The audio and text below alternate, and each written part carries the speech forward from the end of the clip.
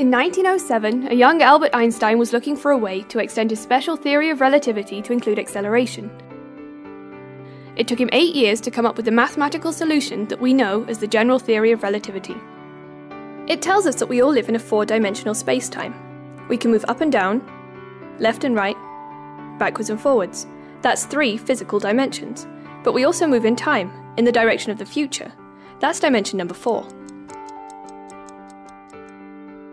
One consequence of Einstein's theory is that spacetime can be stretched, a bit like a rubber sheet.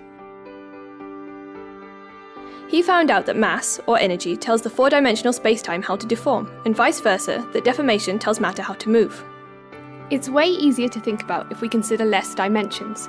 Let's cut one out and limit ourselves to two spatial dimensions. When we put in the Earth, its mass curves the spacetime and our apple falls towards it, and this is what we call gravity. We can make it even simpler still and remove another spatial dimension. Here we are, you, me, the apple, all falling towards the Earth. While we can clearly see and feel the attraction from something really massive and nearby, like the Earth, the effect of things that are further away is harder to notice.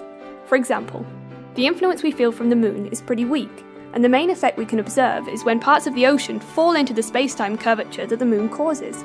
Most people like to call this effect tides. It's the gravity of the Sun that holds our planet in its orbit, but we can barely feel this effect at all.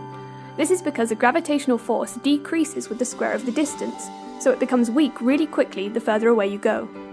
In the end, gravity may be a weak force, but while electric charges cancel each other out in large objects, that can't happen with gravity. Over large distances, gravity always wins and will even allow us to perceive the universe in a completely new way. While all modern astronomy sees the universe, Einstein's general relativity predicts that we can also hear the universe with gravitational waves. These ripples in spacetime are the sound of the universe and travel at the speed of light. They are emitted by the most extreme objects and are detectable from really, really far away. This is all pretty awesome, because soon the effects of gravity might be more to us than just the means by which stuff sticks to the ground. It'll also provide us with a whole new way of observing our universe and all the incredible objects that it contains.